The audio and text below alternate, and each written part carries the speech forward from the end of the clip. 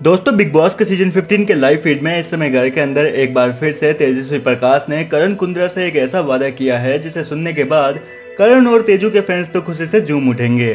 दरअसल दोस्तों, आपको बता दें कि इस समय बिग बॉस के लाइव फ़ीड में करण कुंद्रा, तेजस्वी प्रकाश, जय भानुशाली और निशांत भट्ट गार्डन एरिया में बैठकर एक दूसरे के साथ टास्क को लेकर चर्चा कर रहे थे।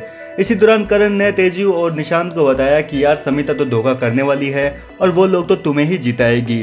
क्योंकि उसने अभी थोड़ी देर पहले मुझे आकर कहा था कि मैं टास्क के दौरान वही फैसला लूँगी जो कि मुझे अच्छा लगेगा। इसका मतलब साफ़ है कि समिता टास्क के दौरान बिल्कुल धोखा करने वाली है और हमारी टीम को नहीं जिताएगी।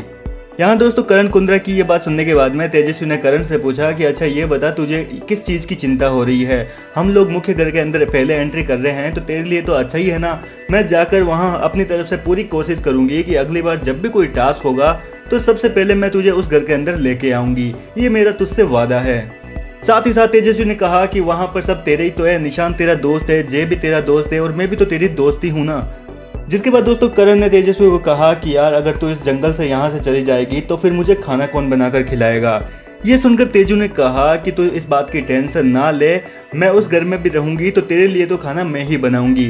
फिर चाहे मुझे मुख्य घर से खाना तेरे लिए लाना क्यों ना पड़े, या फिर अगर तू कहेगा तो तेरी स्पेशल डिमांड पर मैं जंगल में आकर तेरे लिए खाना बना दूँगी। ये सुनकर दोस्तों करण कुंद्रा काफ़ी खुश हो गए, जिसके बाद अब उन्हें तेजस्वी से कोई भी शिकायत नहीं है। फ़िलहाल दोस्तों, तेजू और करण की ये बात आपको कैसी लगी, कमेंट में हमें ज़रूर बताएँ। वीडियो पसंद आए तो लाइक ज़रूर करें और बिग बॉस से जुड़ी हर खबर को सबसे पहले जानने के लिए चैनल को सब्सक्राइब करना ना भूलें।